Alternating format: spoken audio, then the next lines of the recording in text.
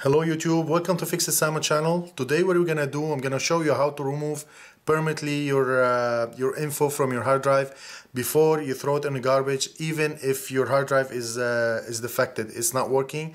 You should always remove what I'm gonna show you today to make sure that no one will get your uh, info.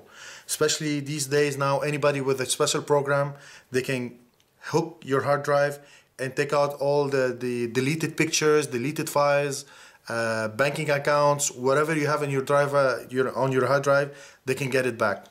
Now I already removed the six screws over here and we have another two in the middle usually. So they are right here. Usually they are covered with the, the white tape over here. So I'm just, I already removed the six. I'm gonna remove these two and I'm gonna show you what's inside the hard drive and what you are supposed to remove.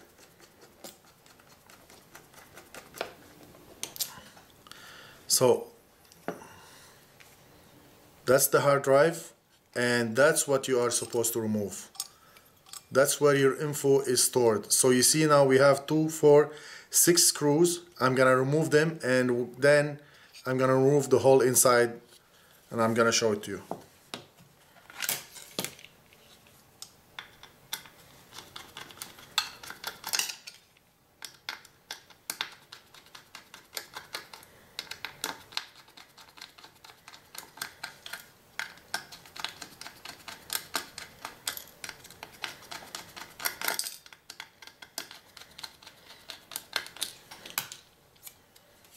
So now you see I, I'm gonna remove these things over here and that's what you're supposed to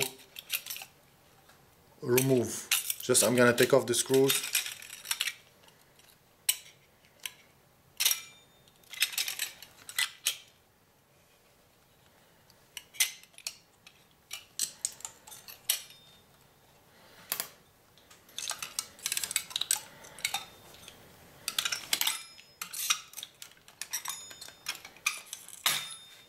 Oops.